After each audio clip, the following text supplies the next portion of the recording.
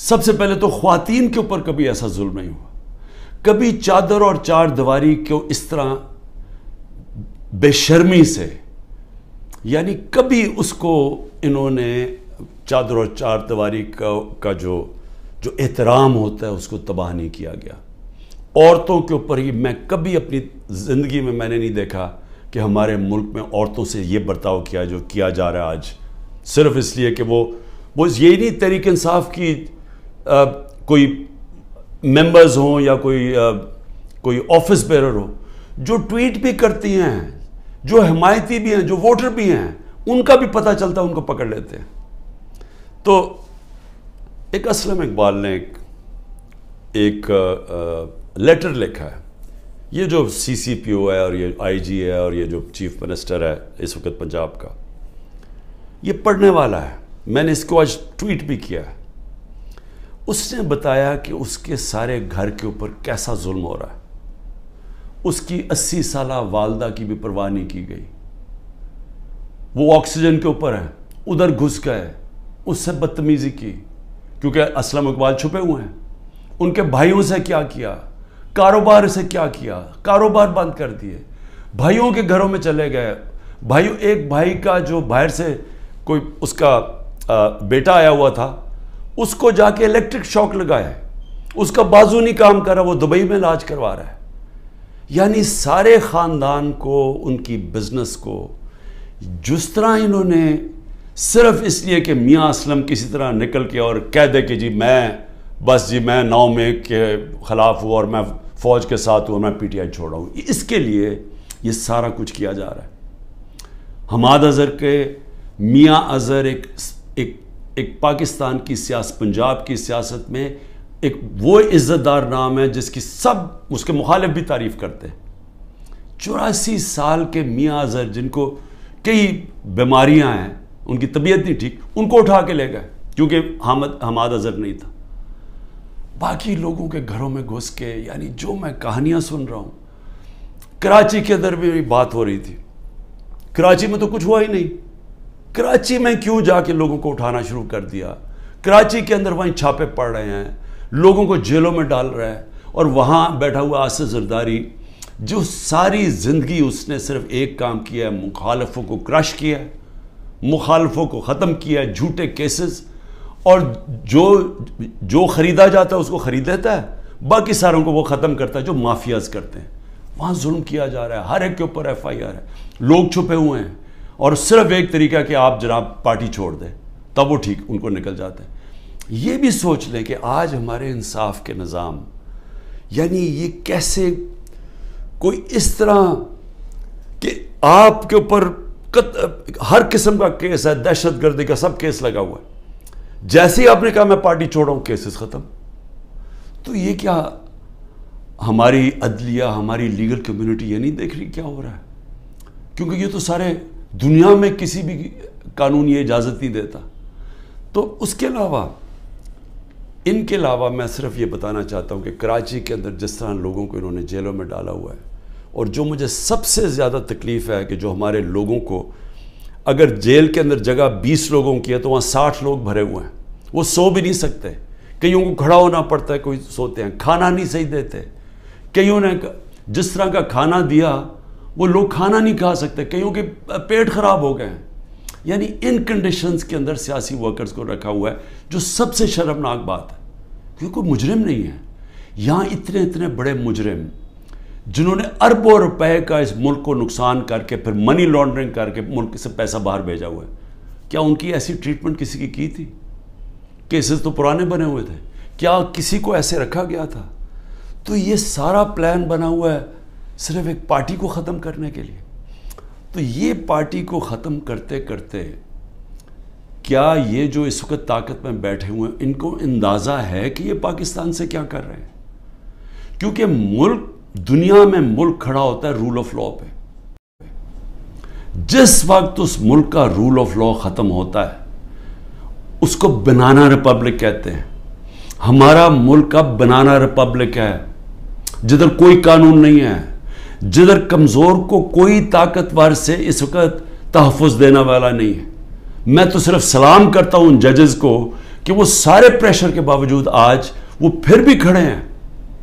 लेकिन पूरी तरह प्रेशर डाला हुआ है जजेस के ऊपर। और मैं फिर से बताऊँ कि इस इस तरह का कोई नीचे नहीं गिरता उनकी फाइलें बनाई हुई हैं। कोई हर किस ब्लैकमेल करने के लिए कि जी आपकी हमें बच्चों पे आ गए हैं घरों पे आ गए हैं खातन के ऊपर आ गए हैं। मैंने एक, एक बताया भी कि हमारे मेंबर ने छोड़ी पार्टी तो उससे कहा जी मैं ये बर्दाश्त नहीं कर सकता। अब तक तो मेरी बिज़नेस पे था अब मेरे घर पे पहुँच गए हैं हमारी औरतों पे पहुँच गए मैं नहीं बर्दाश्त कर सकता। तो इस लेवल के ऊपर इस वक्त इस मुल्क में जुल्म हो रहा है। मैं सिर्फ़ ये बता दूँ कि जो कलेक्टिव पनिशमेंट है यानी आप एक फर्द को पकड़ने जा रहे हैं उसने कोई जुर्म भी किया हो तो कोई दुनिया का कानून इजाज़त नहीं देता कि जो बाकी उसके रिश्तेदारों को उठा लें। ये कलेक्टिव पनिशमेंट आज कल के दौर में सिर्फ़ एक मुल्क में है, इसराइल में। और वो किससे करते हैं? वो फ़लस्तीनों से करते हैं, अपने लोगों से नहीं करते हैं, इसराइलियों से नहीं करते वो फ़लस्तीनों से ये करते हैं। ये कोई दुनिया का इंसाफ का निज़ाम कलेक्टिव पनिशमेंट की इजाज़त नहीं देता, जो आज पाकिस्तान से हो रही है। लेकिन ये अब हो क्या रहा है? एक पार्टी को ख़त्म करते हुए कि जी इमरान खान के ऊपर कांटा डाल दिया। तहरीक इंसाफ को जीतने नहीं देना इलेक्शन इलेक्शन तब होंगे जब तहरीक इंसाफ ख़त्म हो जाएगी, जो करने की कोशिश हो रही है। तो मैं सवाल पूछता हूँ कि उसके बाद क्या होगा? मेरी सिर्फ़ जो ताकत में बैठे उनसे सवाल ये है कि उसके बाद क्या होगा? अगर ये सारे काम करके मुल्क के कानून और अदलिया की सारी क्रेडिबिलिटी ख़त्म करके, इंसाफ का निज़ाम ख़त्म करके इलेक्शन कमीशन की क्रेडिबिलिटी तो पहले ही ख़त्म हुई हुई थी, उसको जो इस्तेमाल कर रहे हैं, सिर्फ़ एक पार्टी को ख़त्म करने के लिए।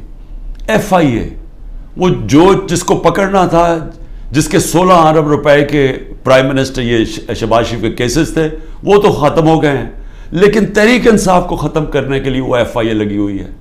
कोई क्रेडिबिलिटी नहीं है। नैब को सिर्फ़ एक मकसद से लगाया हुआ है, कुछ ढूंढो इसके ऊपर, इमरान खान के ऊपर, लोगों के ऊपर, ताकि किसी तरह इनको ख़त्म किया जाए और बाकियों को कहो कि पार्टी छोड़ दें। इन इदारों की सारी क्रेडिबिलिटी ख़त्म हो चुकी है। लेकिन मैं फिर आखिर में ये कहना चाहता हूँ, ये कभी हो ही नहीं सकता। अगर मुल्क की सबसे बड़ी जमात, जिसका पास सबसे बड़ा वोट बैंक है आप जब उसको जिस तरह ख़त्म कर रहे हैं आप पाकिस्तान की जमहूरियत ख़त्म कर रहे हैं। और पाकिस्तान की जमहूरियत ख़त्म करने का मतलब आप मुस्तबिल ख़त्म कर रहे हैं। आप आज़ादी ख़त्म कर रहे हैं इस मुल्क की। आप लोगों को ग़ुलाम बना रहे हैं। ये जो सारे हरबे इस्तेमाल कर रहे हैं, ये इसराइल ग़ुलामों के ऊपर, फ़लस्तीनों को ग़ुलाम बना के तो ये हर, हरबे इस्तेमाल करती है। ये कश्मीर के अंदर, मकबूजा कश्मीर में, हिंदुस्तान कश्मीरियों पर कर रही है ये चीज़ें। ये अपने लोगों पे कोई ऐसा नहीं करता जुल्म। और सबसे बड़ी पार्टी को जब आप ख़त्म कर रहे हैं तो फिर से मैं आपको कहूँ कि जो आपको हरबे इस्तेमाल कर कर रहे हैं और करने पड़ेंगे, आगे और करने पड़ेंगे, क्योंकि सबसे बड़ा वोट बैंक है, वो किधर से ख़त्म होगा? तो इसका मतलब मुकम्मल तौर पे ये जुल्म का निज़ाम चलता रहेगा। और आखिर में जब जब भी आप समझेंगे कि अब पार्टी ख़त्म होगी, तब इलेक्शन करवाएँगे, वो जमहूरियत ख़त्म हो जाएगी। मुजीब रोमान को जब इन्होंने उसके ख़िलाफ़ क्रैकडाउन किया, हमने पाकिस्तानियों ने क्रैकडाउन किया, जिसको प्राइम मिनिस्टर बनना चाहिए था, उसकी पार्टी को बैन कर दिया, कलदम कर दिया तो उसके बाद जो इलेक्शन करवाया, उसकी क्या हैसियत थी? क्या वो इस पाकिस्तान के लोगों ने माना था वो जो इलेक्शन के बाद लोग सामने आए थे? किसी ने, कोई भी उनमें से बचा था जैसी वापस जब उनके पास, उनको वो आज़ाद हो गए हमारे से। तो ये भी जो लोग आप इलेक्शन करवाएँगे, ये रेलू कट्टों की और ये जो सारे चोरों को और ये जो सब इकट्ठे हुए हुए हैं मनी लॉन्ड्रर्स ये जो मुल्क में सजाए याफ्ता, बेल के ऊपर लोग तो जब अब क्या आपका ख्याल है कि इससे कौम मान जाएगी इनकी? क्या कौम इनकी हुकूमत मान जाएगी? वो आज ही नहीं मान रही। वो इतने डरे हुए हैं कि सब कुछ होके भी वो तो इलेक्शन से भाग रहे हैं। दस हज़ार वर्कर भी अंदर है फिर भी डरे हुए हैं इलेक्शन करवाने में। फिर भी कह रहे हैं कि अगली मार्च तक इलेक्शन होगा। तो मैं आज जो भी इस मुल्क में ताकत में बैठे हुए हैं मेरा आपको सिंपल ये पैगाम है कि जिस रास्ते पे आप ये लेके जा रहे हैं इसमें पाकिस्तान की तबाही है अंधेरा है। हमारे बच्चों का मुस्तबिल तबाह हो, हो रहा है। और इतनी मायूसी फैली हुई है पाकिस्तान में, उम्मीद ख़त्म होती जा रही है कि लोग छोड़ छोड़ के जा रहे हैं। अभी भी वक्त है। कोर्स करेक्शन करें, रास्ता बदलें, और रास्ता सिर्फ़ फ्री एंड फेयर इलेक्शन है। पाकिस्तान जिंदाबाद।